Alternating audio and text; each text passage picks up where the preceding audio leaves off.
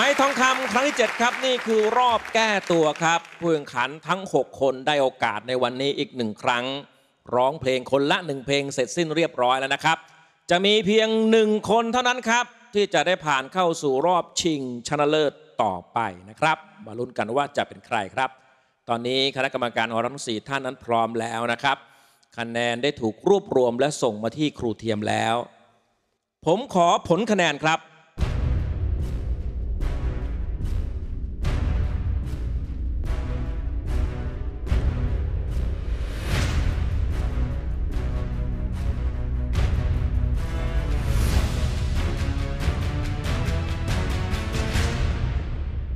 ผู้ชมครับ และตอนนี้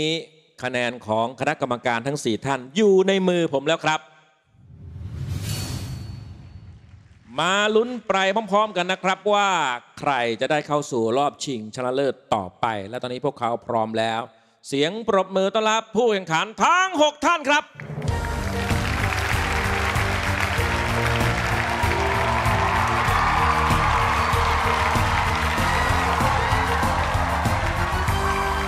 และนี่คือโฉมหน้าผู้แข่งขันทั้งหมด 6 ท่านในวันนี้ของรอบแก้ตัวในไม้ทองคำครั้งที่ 7 ครับ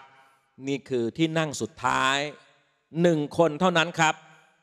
ที่จะได้เข้าสู่รอบชิงชนะเลิศต่อไป และจะได้เป็นศิลปินคนใหม่ของค่ายยุ้งข้าวเรคคอร์ดเขาจะมีเพลงเป็นของตัวเขาเองนะครับ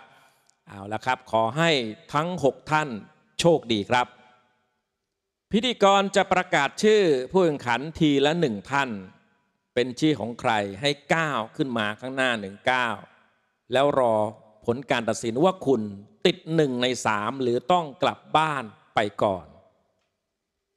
พร้อมนะครับ โอกาสสุดท้ายของพวกเขาครับในการก้าวไปสู่คำว่าศิลปินนะครับ คนแรกครับ มอสครับผลการตัดสินของคุณคือ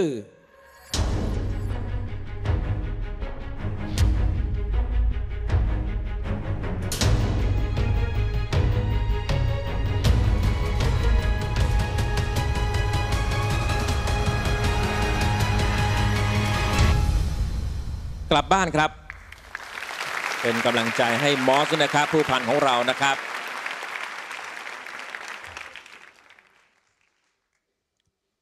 คนต่อไปครับ กล้องครับ ผลการตัดสินของคุณคือ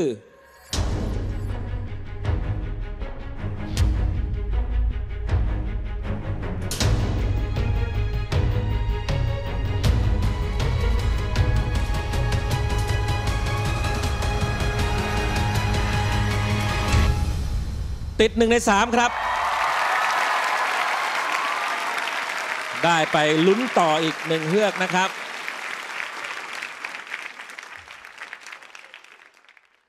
ผู้แข่งขันคนต่อไปครับมายครับ ผลการตัดสินของคุณคือ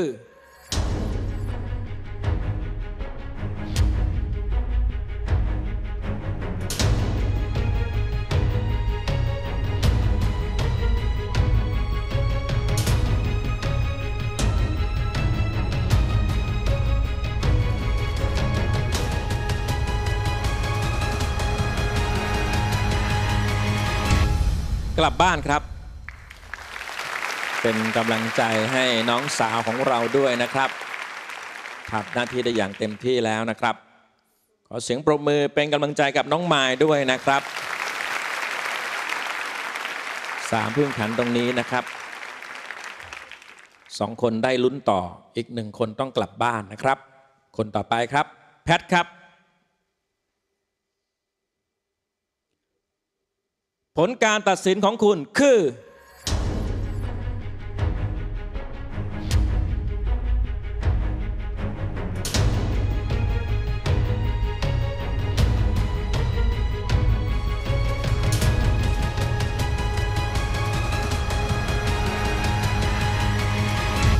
ติดหนึ่งในสามครับ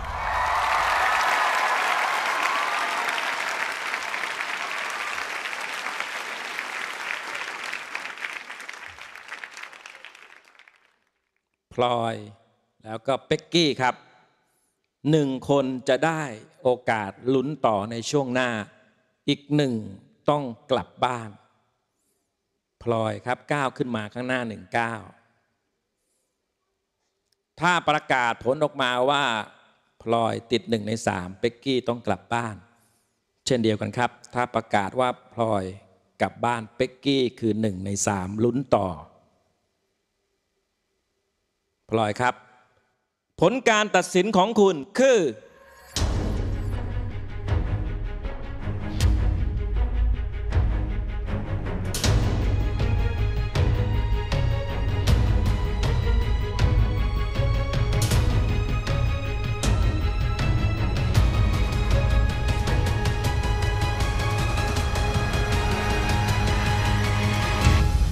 ติดหนึ่งในสามครับ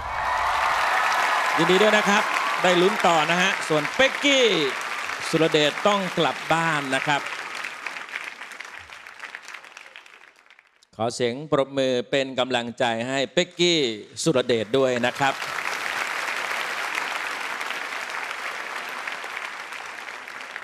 หนึ่งในสามคนนี้นะครับหนึ่งคน